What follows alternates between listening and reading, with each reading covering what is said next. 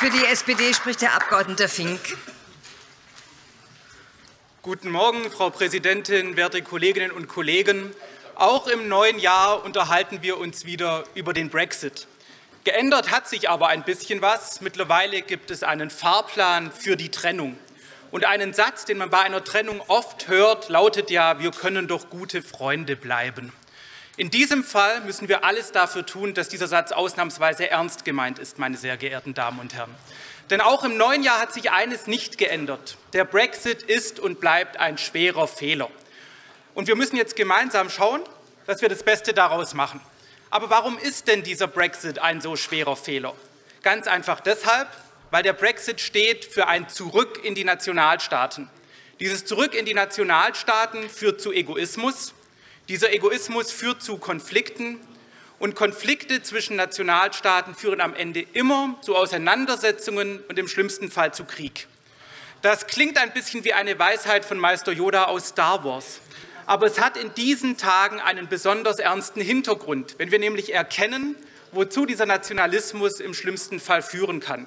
Und deshalb ist es unsere gemeinsame Aufgabe, dafür zu sorgen, dass Populisten und Nationalisten nicht Wahlen gewinnen, so wie sie es beim Brexit getan haben, meine sehr geehrten Damen und Herren.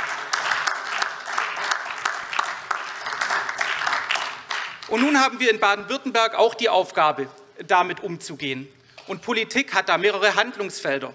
Zum einen geht es um den rechtlichen Rahmen, den wir abstecken müssen. Das geschieht mit dem Brexit-Übergangsgesetz, und da haben Sie uns auch an Ihrer Seite. Ein weiterer wichtiger Teil von Politik ist aber, die Menschen umfassend und gründlich zu informieren. Und wenn man sich bei uns in Baden-Württemberg informieren möchte, was bedeutet der Brexit für unser Land, dann kann man ja auf die Idee kommen, auf der Homepage des Ministeriums der Justiz und für Europa nachzuschauen. Denn schließlich erleben wir hier immer einen Minister, der mit großem Engagement und Leidenschaft für Europa unterwegs ist.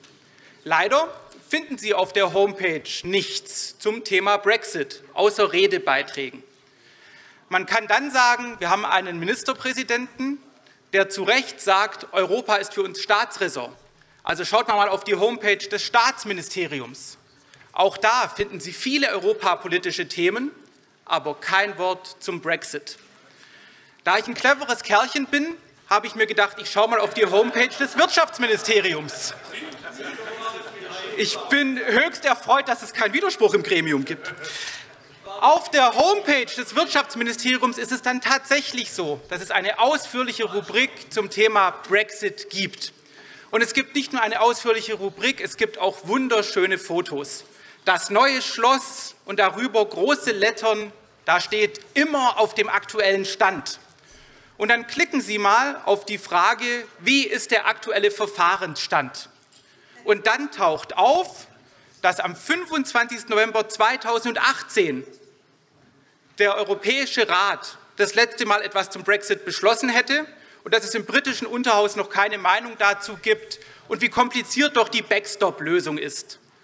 Wir haben es gehört vom Kollegen Kössler, es geht um 70.000 Arbeitsplätze. Es geht um die Zukunft Europas. Und Sie schaffen es nicht einmal, eine Homepage zu aktualisieren. Das ist peinlich, meine sehr geehrten Damen und Herren. Und es ist deshalb auch gefährlich, weil mit dieser Haltung etwas übernommen wird, was wir ja selber erleben, nämlich dass die Menschen teilweise keine Lust mehr haben, sich mit dem Brexit zu beschäftigen, sondern nur sagen, Hauptsache es geht irgendwann vorbei. Aber das dürfen wir nicht zulassen. Wir müssen dafür sorgen, dass wir weiterhin mit großer Lust für Europa eintreten. Wir müssen weiterhin dafür sorgen, dass wir für ein vereintes Europa eintreten. Und gerade die sozialdemokratische Fraktion wird das mit großer Kraft tun. Herzlichen Dank.